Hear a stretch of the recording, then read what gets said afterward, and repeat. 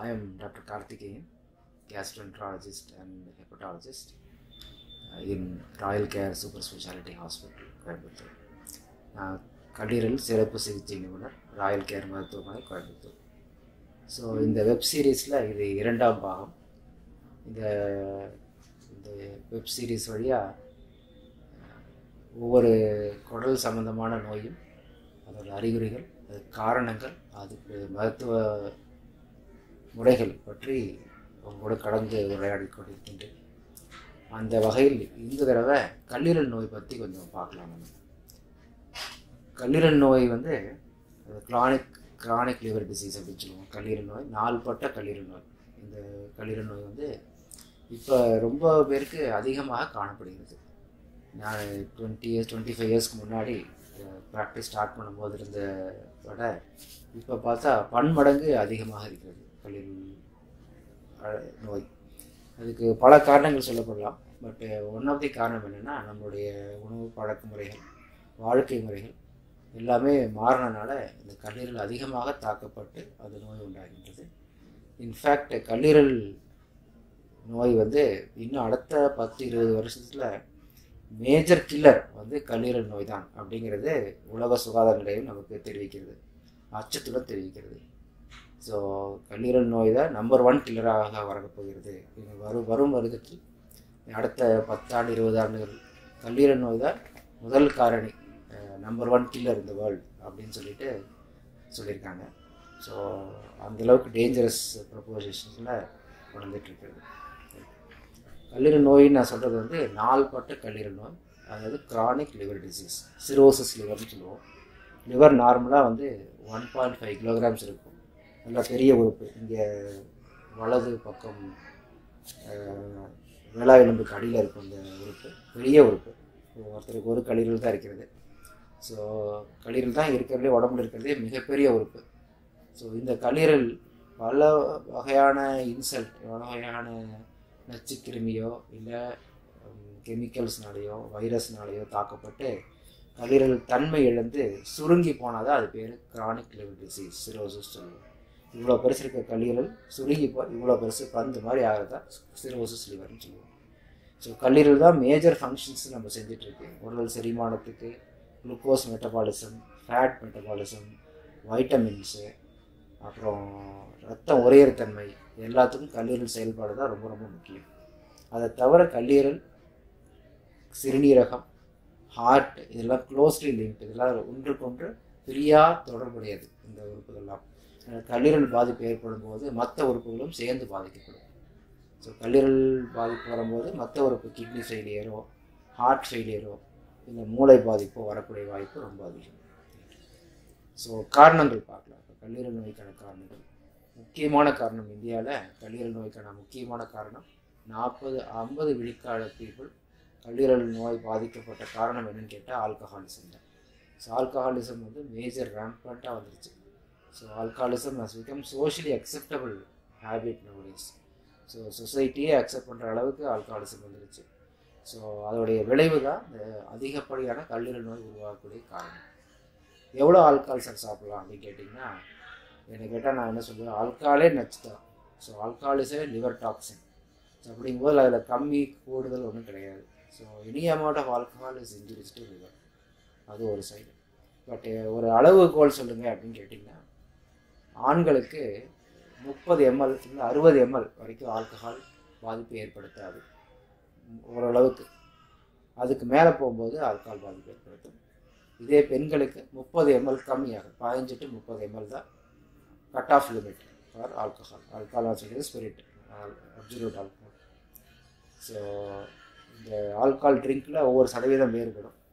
So இந்த spirits wine whisky brandy இந்த மாதிரி hard லிக்கரில் thirty ML alcohol is a upper limit beer wine இந்த மாதிரி இதில் முந்நூறு ML of beer is equal to thirty ML of hard liquor so இதான் ஒரு கணக்கு. முந்நூறு ML of beer is equal to thirty ML of hard liquor so wine இருந்துன்னா எழுபத்தஞ்சு ML of wine is equal to thirty ML of hard liquor so இந்த கணக்குப்படி பார்த்தா ஒரு முப்பது ML upper limit of normal இல்லை ஒரு team beer is upper limit of normal so இந்த சாப்பிட்டா ஒன்றும் வராதா சார் அப்படின்னு சொன்னால் அப்படியும் வரக்கூடிய வாய்ப்பு இருக்குது அதனால் முழுவதும் ஆல்கால் தவிர்க்கிறது தான் ரொம்ப நல்லது.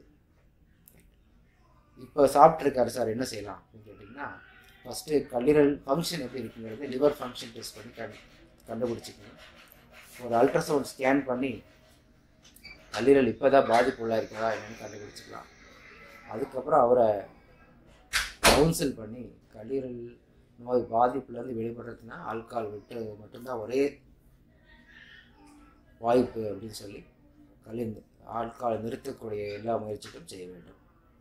இது செஞ்சுட்டு இருந்தால் ஒரு ஆறு மாதம் ஒரு வருஷத்துக்குள்ளார கல்லீரல் ஓரளவுக்கு நார்மலாக வரக்கூடிய வாய்ப்பு இருக்குது ஸோ இது கல்லீரல் மதுப்பழக்கம் உண்டாக்கக்கூடிய கல்லீரல் வியாதிக்கான ஒரு வழிமுறைகள். ஸோ இதை தவிர கல்லீரல் பாதிப்பு வேறு சில வகையாலும் வர வாய்ப்பு இருக்குது வைரஸ் ஹெப்படைட்டிஸ் வைரஸ்னு சொல்லுவோம். ஹெப்படைட்டிஸ் பி ஹெப்படைட்டிஸ் சி இந்த மாதிரி வைரஸ் தாக்குதல் உண்டாகும் போது கல்லீரல் பாதிக்கப்பட்டு இந்த கிரானிக் லிவர் டிசீஸ் ஸ்டேஜுக்கு உருவாக வாய்ப்பு இருக்குது இந்த ஹெப்படைட்டிஸ் பி ஹெப்படைட்டிஸ் சி வந்து பெருசாக சிம்டம்ஸ் கொடுக்காது. அதாவது அறிகுறி எதுவும் தெரியாது. கல்லீரல் பாதிக்கப்பட்டதுக்கு அப்புறம் தான் அறிகுறியே தெரியும். ஸோ அதனால் அதுக்கு ஸ்க்ரீனிங் எல்லாம் இருக்குது இப்போ. ஹெப்படைட்டிஸ் பி இருக்குன்னு டெஸ்ட் பண்ணுறதா ப்ளட் டெஸ்ட் பண்ணி பார்த்தா தெரியும்.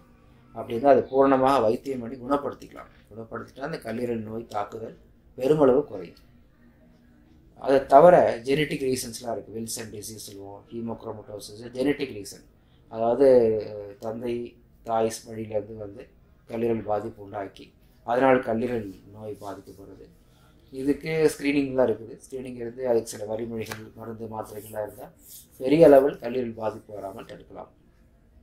இது தவிர ஆட்டோ இம்யூன் ஹெப்படைட்டிஸ் சொல்லிட்டு ஒரு கண்டிஷன் இருக்குது அது இம்யூனாலஜி ரிலேட்டட் லிவர் டிசீஸ் அதாவது நம்மளுடைய இம்யூன் சிஸ்டம் மாறுதல்னால கல்லீரல் நோய் ஏற்படலாம். அதுக்கும் மருந்துகள் இருக்குது மருந்து கரெக்டாக உட்கொண்டால் கல்லீரல் நோய் பெரிய பாதிப்புலேருந்து தவிர்க்கலாம். சரிங்க சார். இந்த கல்லீரல் நோயின்னு சொல்கிறீங்க இதனால் என்னென்ன வரும் ப்ராப்ளம் மஞ்சக்காமலை வரலாம். வயிறு வீக்கம் வரலாம். அசைட்டுன்னு சொல்லுவோம். வயிறு பெருசாக வீங்கி பானை மாதிரி வீங்கிடும். அது பேர் அசைட்டிஸ்ன்னு சொல்லுவோம். கால் வீக்கம் வரலாம். கிட்னி பாதிப்பு நான் சொன்ன கல்லீரல் கிட்னியெல்லாம் சேர்ந்த உறுப்புகள். கிட்னி பாதிப்பு வந்து யூரின் பிரியாமல் கஷ்டப்படலாம். மூளை பாதிப்பு ஏற்பட்டு பேச்சு மாறுதல் மூளை பாதி பாதி பாதிக்கப்பட்டு கோமா ஸ்டேஜுக்கு போகிற அளவுக்கு கூட வரலாம். அது பேர் ஹெப்பாட்டிக் என்கெஃபிலோபதி அப்படின்னு சொல்லுவோம். ரொம்ப முக்கியமான பேராபத்து என்னென்னா பிளட் வாமிட்டிங் சடனாக உட்காந்துருப்பாங்க சடனாக பிளட் வாமிட்டிங் எடுப்பாங்க. அப்படியே சுருண்டு விழுந்துருவாங்க. ஹாஸ்பிட்டல் வரக்கூட முடியாது. ஒரு லிட்டர் ரெண்டு லிட்டர் பிளட் வாமிட்டிங் வரும். இது பேர் வெரிசியல் ஹெமரேஜ்னு சொல்லுவோம். கல்லீரல் சுருங்கனால ரத்த குழாய் வீக்கம் ஆகி அந்த ரத்த குழாய் வெடித்து பிளட் வாமிட்டிங் வரும். ஸோ இது வந்து அந்த காலத்தில் இந்த மாதிரி கல்லீரல் பாதிப்பாகி பிளட் வாமிட்டிங் வந்தால் அதோட பெரிய வைத்தியம் இருக்காது. ஸோ வைத்தியம் பெருசாக செய்ய முடியாதுன்னு சொல்லி கை விரிச்சிருவாங்க டாக்டர்ஸ்லாம் இன்றைக்கி அதுக்கு ஓரளவுக்கு ட்ரீட்மெண்ட் வசதிகளாக இருக்குது எண்டோஸ்கோப் வழியாக போய் அதுக்கு பேண்டிங் செய்கிறது அப்புறம் அதுக்கான மருந்துகள் போகிறது இந்த ட்ரீட்மெண்ட்லாம் செஞ்சு ஓரளவுக்கு உயிர் காப்பாற்றலாம் பட் எதனாலும் செஞ்சாலும் நோய் ப்ரிவென்ஷன் தான் எப்போவுமே நல்லது. ஸோ கல்லீரல் பாதிப்பு ஏற்படாமல் காப்பாற்றுறது தான் முக்கியம் சாலை சிறந்தது. ஸோ வந்து அதோட காம்ப்ளிகேஷன் வந்து அதை வைத்தியம்ன்றதை விட வராமல் தடுக்கிறது தான் எப்போவுமே ரொம்ப நல்லது. ஸோ கல்லீரல் நோய்க்கு நான் சொல்கிற சம்மரி சொல்கிறேன் கல்லீரல் நோய்க்கான முதல் காரணம் ஆல்கஹால். அது தவிர virus hepatitis B C virus இருந்தால் வரலாம். சில மருந்துகள் மாத்திரைனாலும் வரலாம். ஆட்டோஇம்யூன் ஹெப்படைட்டிஸ்னால வரலாம். ஜெனட்டிக் காரணங்களால் வரலாம். ஸோ இதில் தடுக்கக்கூடிய கல்லீரல் நோய்கள் alcohol liver disease so alcohol தவிர்க்க வேண்டும். ஹெப்படைட்டிஸ் பி சி இருக்கான்னு பார்த்து அதுக்கான வைத்திய முறைகள் செஞ்சுட்டா அந்த பாதிப்புலேருந்து விடுபடலாம். ஆட்டோஇம்யூன் ஹெப்படைட்டிஸ் இருக்கான்னு பார்த்து அதுக்கான மருந்துகள் சாப்பிட்டா அந்த கல்லீரல் நோயும் விடுபடலாம். ஜெனட்டிக் லிவர் டிசீஸ் இருக்குன்னு ஆரம்ப ஸ்டேஜ்லேயே தெரிஞ்சு அதுக்கான மருந்துகள் சாப்பிட்டா பெரிய கல்லீரல் நோய் பாதிப்பு வராமல் இருக்கலாம்.